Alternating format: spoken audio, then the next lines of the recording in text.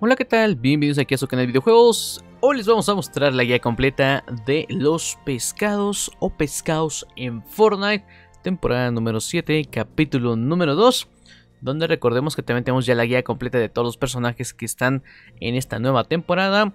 Tenemos también los desafíos semanales, así que date una vuelta por el canal. Si no estás suscrito, recuerda suscribirte, activar la campanita y utilizar nuestro código WASA, W-A-S-A, en tu tienda de Fortnite. Así que vamos a comenzar con esto, hermanitos, para explicarles cómo pueden encontrar todos los pescados disponibles en esta bonita temporada, hermanos. Así que primeramente voy a explicar un poquito eh, cómo puedes encontrar ciertos pescados en el mapa, ¿vale? Esta zona es una zona montañosa, ¿vale? Hay que recordar esta, esta zona de aquí y todo lo que está enfrente de campo es zona montañosa. Luego, la zona pantanosa, pues es en pantano pegajoso literalmente. Y todo el río que está aquí en Alameda Afligida se considera como zona boscosa. Y ya, por ejemplo, todo lo que está enfrente de costa o de Castillo Coral, todo esto, pues todo esto es literalmente zona de mar, ¿vale? Así tal cual. Que son las zonas que nos van a pedir los pescados para poder encontrarlos. Ahora vamos a checar el tema de las colecciones. Y déjenme quitar el código para que puedan ver el bonito pescado ahí siempre en pantalla. Pero recuerden utilizar el código, hermanito, ya se la sabe, ¿no? Así que bueno, vamos a comenzar. Si antes eh, mencionar que hacemos directo todos los días por este canal de YouTube para que estés aquí atento. Recuerda unirte a nuestro Discord, link en la descripción para que te enteres de los directos, los horarios y que puedas grabar con nosotros en vivo. Así que bueno, eh, recuerden que hay ciertas zonas donde podemos encontrar los pescados. También recordemos que la mayoría se encuentran o los más complicados con la caña profesional, que la caña profesional es la caña de color azul, que es un poquito difícil de encontrar a veces, pero si tienes suerte lo puedes encontrar rápido. Y también algunos pescados son de noche, por lo tanto tienes que atraparlos o pescarlos cuando sea de noche, así que cada pescado tiene como eh, sus variantes, ¿vale? Vamos a comenzar por los pescados básicos, que este se encuentra en todas partes, con cualquier tipo de caña, no importa, ¿vale? El número 2 en todas partes, que es el verdecito. El pescado sur igualmente en todas partes. Comenzamos con lo que es el pescado eh, pez escudo. Que este igual se encuentra en todas partes, no hay ningún problema.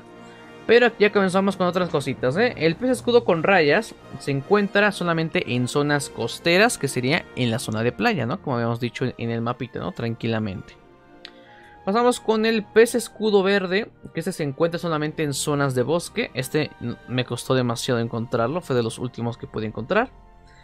Eh, tenemos el pez escudo rosa, que se encuentra en todas partes, a cualquier hora del día.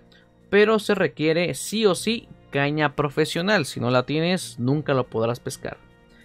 Luego sigue el pez escudo azul claro, que este se puede confundir con, pues, con el pez clásico. Realmente sí es un poco confuso a veces. Este es en todas partes, no hay ningún problema. Luego comenzamos con el pescado sorbete azul, de los más tops. Este se encuentra en todas partes. Vamos con el pescadito número 10. El cual este es pescado sorbete amarillo. Se encuentra solamente en zonas de pantano. Ok. Pescado número 11, que este fue el último que pude pescar. Que es el pescado sorbete morado. Se encuentra en zonas montañosas. Nada más. Tenemos luego este pescado número 12 que se encuentra cerca de zonas costeras, por lo tanto son zonas de playa, pero solo de noche. Esto ya se pone un poco más complicado en algunos pescados como les mencionaba, porque aquí solamente es en playa y solo de noche. Si no estás en playa, si no estás de noche, no vale. No vale atardeceres y no vale de día, ¿ok? Pescado sorbete blanco. Número 13 se encuentra en zonas de pantano. Fíjese, este es de los más complicados, por así decirlo. Se encuentra en zonas de pantano. Solamente por la noche. Y aparte requiere la caña profesional. Tres requisitos. Pantano, noche y caña pro.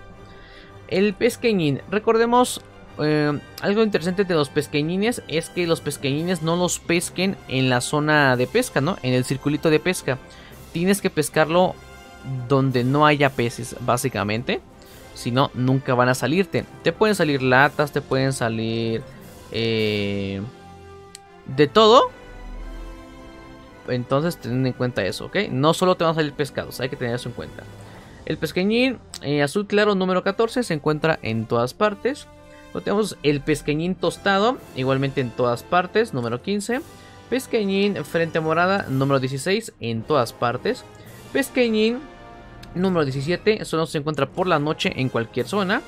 Número 18, pesqueñín azul. Este cómo me costó encontrarlo, no se imaginan. Pesqué como 50 veces y no me salía. Se encuentran en zonas costeras. Espero que tengan mucha suerte con este. Eh, tenemos el pez picante número 19 en todas partes. Luego tenemos el pez picante deriva número 20 en zonas de bosque.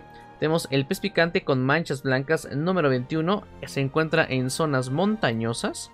Tenemos el pez picante del sur número 22. Se encuentra en zonas de pantano.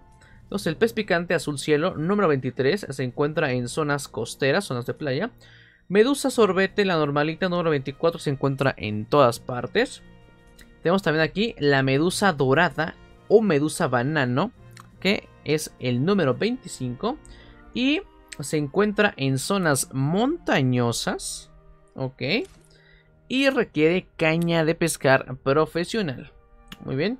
Continuemos. Tenemos aquí también la medusa morada número 26. Que se encuentra en zonas costeras o de playa. Como ustedes más pues le digan, ¿no? Tenemos la medusa vanguardia número 27. Se encuentra solamente por la noche en cualquier lugar que la puedas eh, pescar. Tenemos la medusa pegajosa número 28. Se encuentra en zonas de pantano. Aquí no importa el día ni la caña. Tenemos luego los pescados saltarines. Deriva que también de aquí sufrí con uno que otro. Fue de los últimos tres que encontré. Entonces, híjole, complicado, ¿eh? Este se encuentra en todas partes, el clásico número 29. De hecho, pesqué 38 de estos, imagínense. Eh, tenemos luego el pescado saltarín del Atlántico, que es el número 30.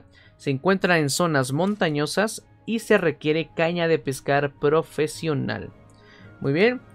Eh, pescado saltarín coleguita, coleguita, no sé cómo se, no sé cómo se diga. Número 31. Se encuentra en zonas costeras o de playa. Eh, estos últimos dos son, los que más me costaron, me parece.